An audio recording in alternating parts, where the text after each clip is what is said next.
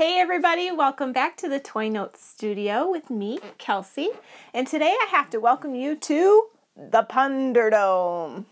This is a card game that's made the Amazon bestseller list and being that I'm a fan of those really lame jokes like what's red and bad for your teeth, a brick, I thought the Punderdome game must be for me.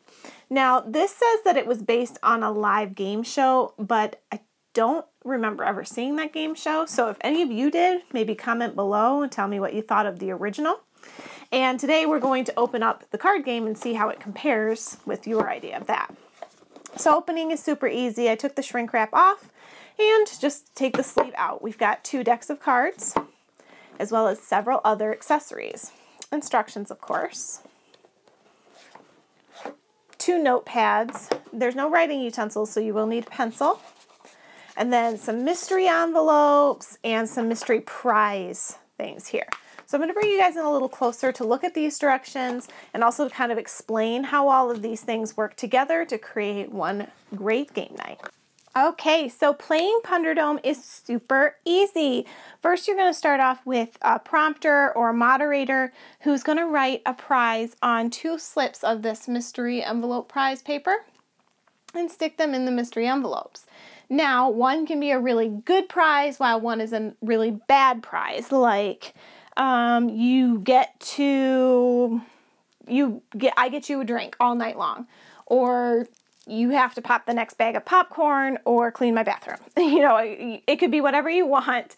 Um, but the point is, only the beginning moderator knows what that envelope says. Everybody else just plays, and then whoever wins gets to pick just one of those envelopes and, you know, may the odds be in your favor. Now, your instructions are here, but I'm going to summarize to try to make it a little easier for you guys. Basically, what you're going to have is your first prompter who's taking care of the envelopes is also going to use one of these quick pun cards. Now, on the quick pun cards, you have a question where did the newlywed dice go on their honeymoon? Now, each team or player has just a few seconds to come up with something or the answer or their best answer. If the person gets it right or the team gets it right, they get an extra 30 seconds to work on their puns later in the game. So they went to paradise. Ha ha ha ha ha. So we're to set that off to the side. Now, once the quick pun is done, you're going to have green and white prompts. Now, what you're having is you take the Beatles and drinking. The prompter says the Beatles and drinking are your cards. And then let me look here. I got to make sure. 90 seconds. Okay, so you have 90 seconds, or if you're the team who won the quick pun, you get an additional 30. Now you'll have to supply a timer because there's no timer in this collection here. But fortunately, most cell phones have a stopwatch, so that works out. So at the end of the time period, the teams or players turn in their puns on little pieces of paper, and the moderator who started the game chooses which one's the best, and then they get the points. Next, you're going to have someone else um, you're going to shuffle all the responses, you read them out loud, and then the winner is chosen. Blah, blah, blah. Next prompter. So the next prompter is going to do the same thing. Start with a quick pun. What did the ocean call the sand after a fight? A total beach. Now, this is an example of one of those puns that is funny, but a little suggestive for younger players, so I understand why this is 12 and up. Then next you'll have celebrities and driving and 90 seconds on the clock. So basically, I got to look here and see what the point.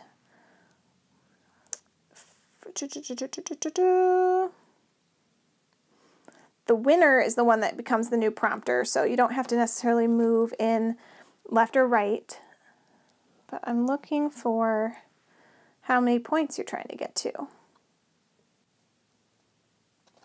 Yeah, I don't, uh, I don't see a point limit. So I guess you'd have to set a point limit ahead of time and say you want to get to X amount of points or X amount of puns, and then the game is over. So once you get to the end of the game and it's clear who the winning team or person is, they get to pick one of the mystery envelopes, open it, and read aloud their prize and collect it. And then the game is over if the original person who knows what's in the envelopes um, gets ends up being the winner and gets them, then they just get to keep them and they don't have to give anybody anything. So that is the basics behind playing Punderdome. Um, it's nice that they have these color-coded cards. That way you can keep everything nice and organized, and then everything fits well right inside the Punderdome box. I would have loved to seen Punderdome include a timer or some small pencils. Uh, not that it's absolutely necessary, but it's kind of nice to have everything together. That way you can just pack up for game night and you don't have to worry about it.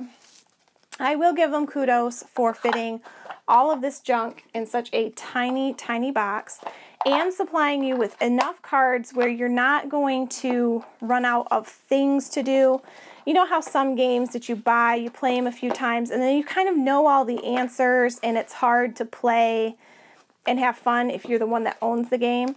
Well, because the cards, there's so many cards, and each of the cards can be a different combination, you don't really have that worry with Punderdome. You're, I mean, you've got thousands and thousands of possible combinations for puns, um, and every game would be a different kind of game because you'd be, you know, coming up with new and different kinds of puns.